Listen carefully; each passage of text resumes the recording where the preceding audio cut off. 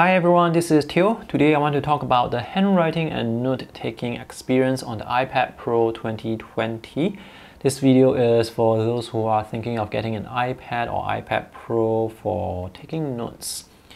So let me start by saying that if you just want to buy a tablet to take notes, I would actually recommend the iPad 7, the one that supports Apple Pencil because the note-taking experience for that iPad is quite good as well.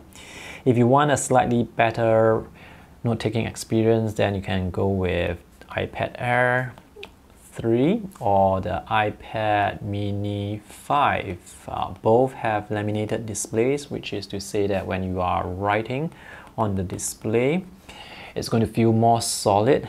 For the iPad 7, which doesn't have a laminated display, when writing on it, it's going to sound a bit hollow with the Apple Pencil tapping on the screen, but seriously, it's no big deal because this is significantly cheaper compared to these two options. If you just want a premium feel, I would highly recommend getting the iPad Air 3 because it's hundreds of dollars cheaper compared to the iPad Pro.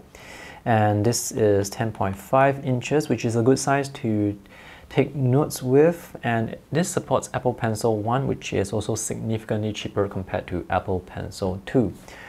Alright, let's um, do some writing with this app. This is Wacom Bamboo Paper. I like this app because it doesn't have a lot of features. The writing experience on this feels very good. I don't have a screen protector on this. Um, writing it's not slippery. It's smooth, but it's not slippery.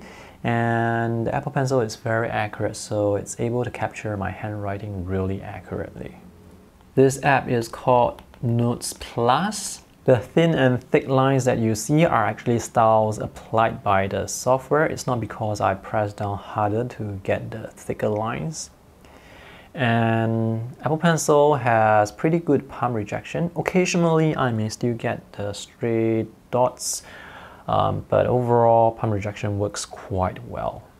The last app I want to show you is Microsoft OneNote and this time around I'm going to write as small as possible. So the iPad Pro and the Apple Pencil again is able to capture my handwriting very accurately. So writing big or small, it doesn't really matter at all.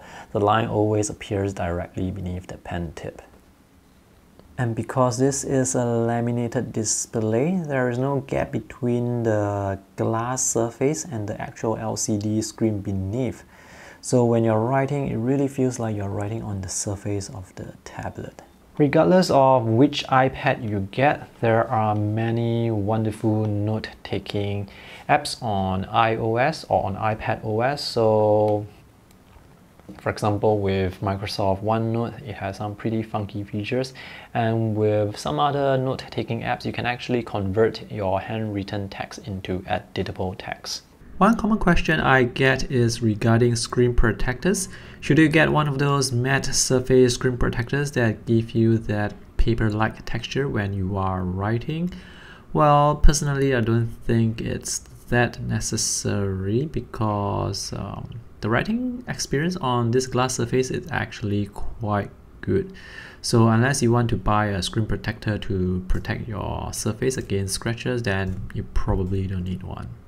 To conclude, the overall handwriting and note-taking experience on the iPad Pro 2020 is A+, just like the cheaper iPad Air 3 and iPad Mini 5. Alright, thanks for watching. See you guys in the next video. Bye.